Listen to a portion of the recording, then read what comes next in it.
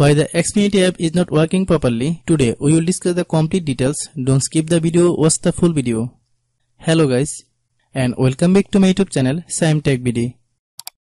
Today I will discuss how to fix Xfinity app lagging screen. I have a request. If you are new to channel, please subscribe and stay with us. Open settings.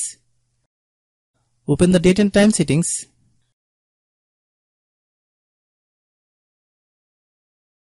Tap Set Time automatically to reset time to whatever location you are currently at. Click Back. Click About Device. Click Storage. Then click Clean Up.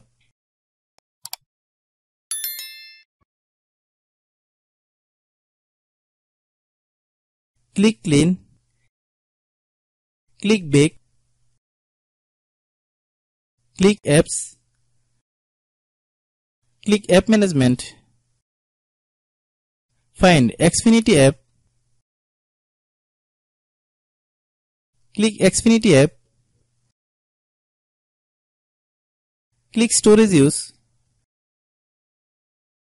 Click Clear Cache. Then click Clear Data. If you clear data, you will need to relog into your account. Then click delete. Then open Google Play Store. Then search Xfinity app. Click Xfinity app.